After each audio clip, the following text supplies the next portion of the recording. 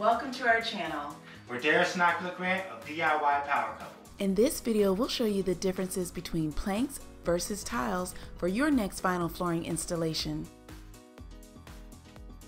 Let's first look at the look and feel of planks and tiles.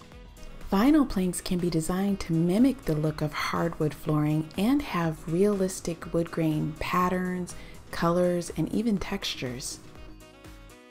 Their finish can resemble the knots and imperfections of reclaimed wood or have a softer, more traditional style. The one thing you should know is that the same pattern can be printed on planks in the same box. In comparison, vinyl tiles are often designed to look like ceramic or other stone tiles. These tiles may have more of a stone-like texture, and they can have more of a rectangular or square shape. Just like with the planks, their design pattern can be repeated within their same box. Here's a feature where they're similar. Both interlocking vinyl tiles and planks have a tongue and groove design. This allows them to connect without adhesive or nails. This is what's called a floating floor, and DIYers like us can save time and money when installing them. And that leads us to the difference in cost. Vinyl planks and tiles vary slightly in cost with each other. Higher prices are associated with their thickness, multi-layer construction, and their padding. However, vinyl flooring overall is a budget-friendly option compared to other flooring materials, especially since it's stylish, durable, and waterproof. Hey guys, notice that interlocking planks and tiles have different coverage per square foot due to their individual shapes. Knowing how much flooring you need can help your home improvement project go much smoother. For us, this vinyl flooring here each used the same amount of boxes for an average sized room. Also, doing a dry layout before you begin helps you to see how much you're working with. It also helps you to determine your center point. And if you're trying to decide between plank or tile flooring to install yourself, the good thing to know is that you can use some of the same DIY tools. We have a DIY playlist that will help you step by step how to install vinyl flooring that we'll leave in the description below. You'll want to get a good underlayment to provide a moisture barrier and sound absorption for your floating floor, no matter if you're going to install interlocking planks or tiles, especially if your subfloor is concrete. If you are installing over an existing vinyl floor, then that becomes your subfloor.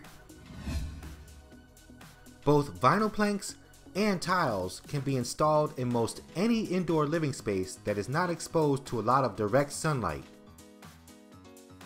Laundry rooms, bedrooms, kitchens, and bathrooms are great spaces for this type of flooring.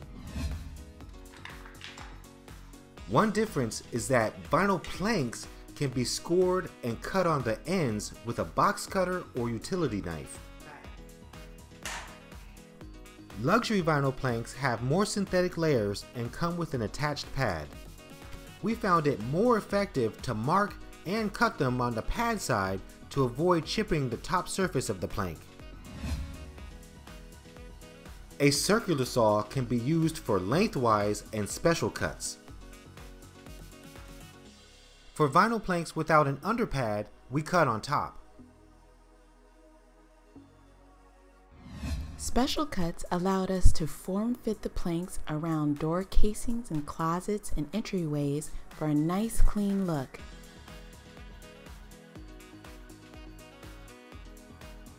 Installing interlocking vinyl planks can give you a wood floor aesthetic and save you money.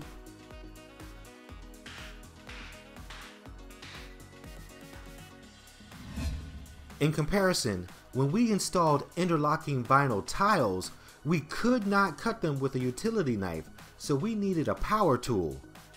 The circular saw was used for simple cuts like cutting the tile in half. We use the jigsaw for more precise cuts or what we call special cuts. For us, interlocking tiles were less pliable and a little more difficult to install around door jambs and casings. Installing interlocking vinyl tiles can be a budget-friendly option for a look of ceramic, marble, or stone. Both provide similar flooring durability and maintenance, so the main difference between interlocking vinyl planks and tiles will come down to your personal style preference in your home. So DIY family, we want to know, what would be your preference? Write in the comments so we can see if it's going to be planks or tiles. Thank you so much for watching and hanging out with us today, and we look forward to seeing you soon. If you like videos like these, be sure to check out our other videos and subscribe to our channel for more DIY.